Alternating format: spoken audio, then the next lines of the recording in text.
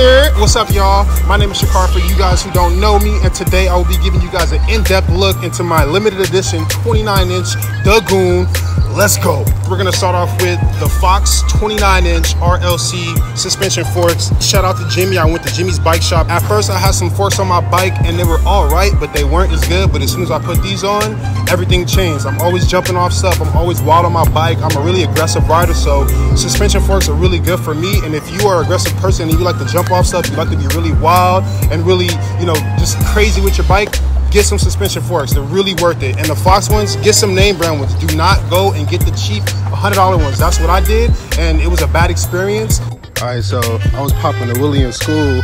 As soon as I pop this bitch up, my whole front fork fell off, nigga. Never get the $100 cheap ones. Spend a little bit more. Now, I got my stem. This is like a generic stem. I got this from Mr. Bike Shop. Shout out to Mr. Bike Shop.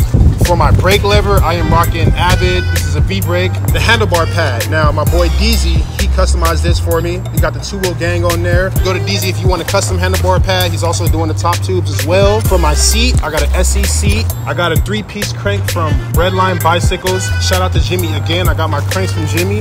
That's pretty much the main person I go to if you want some top quality stuff. For the pedals, shout out to Deezy again. I got my pedals from Deezy. These are Bullseye Elite XT. I got my spoke skins from Amazon. They're like two bucks. The brake pads I'm rocking right now, they're Kool Stops. I don't know what model of Kool Stops these are, but I will leave in the description a list of all my parts and where you can buy them if guys are interested and you want to upgrade your bike parts.